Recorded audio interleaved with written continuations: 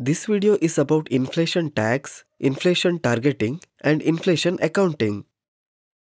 Inflation tax has two meanings. Let us look at the first one. Imagine you have 10,000 rupees hard cash. You think it's a lot of money and keep it in locker only to forget about it. As years go by, this money loses its value. Assume that you open locker after 20 years.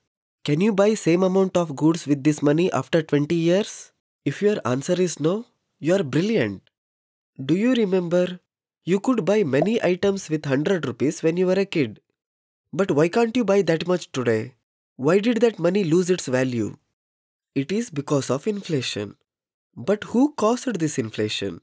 We saw in earlier videos that printing of extra money causes inflation. Only government can print extra money. We will explain why and when government prints extra money when we take up fiscal policy and public finance chapter. For now just know that government can print extra money and spend it. As years go by, government prints more money and use it for its expenditure.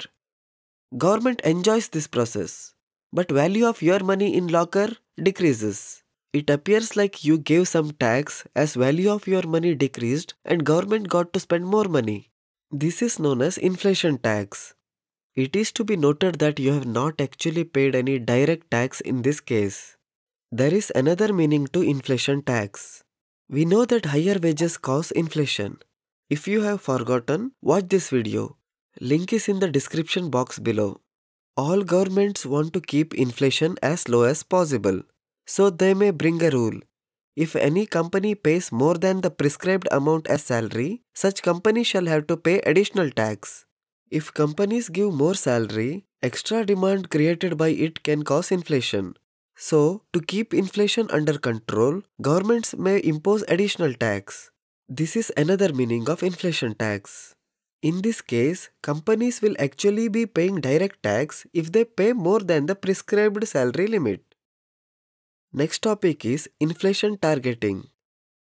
In most countries, central banks are responsible for maintaining a stable inflation rate.